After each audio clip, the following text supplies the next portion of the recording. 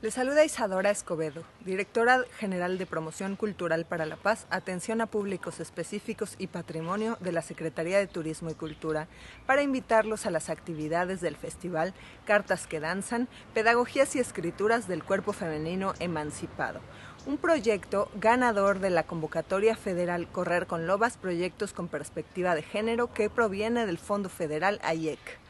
Este festival inicia hoy, 13 de noviembre, y finalizará el 15, el domingo. Es decir, hay actividades 13, 14 y 15 de noviembre en cuatro municipios del estado de Morelos, donde se llevarán a cabo 10 eh, talleres, una mesa redonda y seis actividades de clausura.